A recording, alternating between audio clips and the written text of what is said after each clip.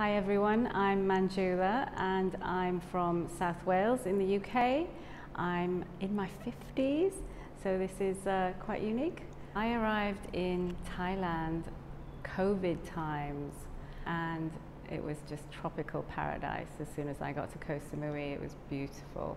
And then the island was even more au naturel. Um, yeah, Koh Phangan has been an experience with One Yoga. It's um,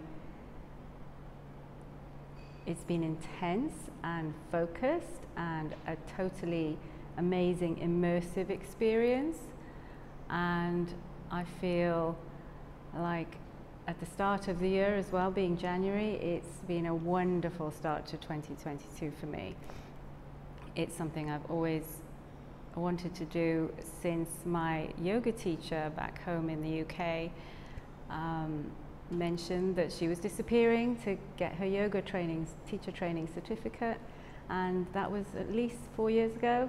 I've and, and I've wanted to, be, to come along since then, but uh, it was wonderful to finally make it here, to go through this unique experience with such an international bunch of people, all really warm, welcoming, and you know, through the ups and downs, we've all been there for each other, um, going out for dinner together, spending the little bits of free time during the day as well, having a swim in the ocean on our own private beach.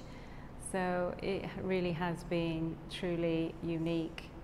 So if you're anything like me uh, and have doubts about doing something like a teacher training course that uh, in your senior years, then I would not worry because people guide you through here. One Yoga team is wonderfully supportive and I would highly recommend you take action now.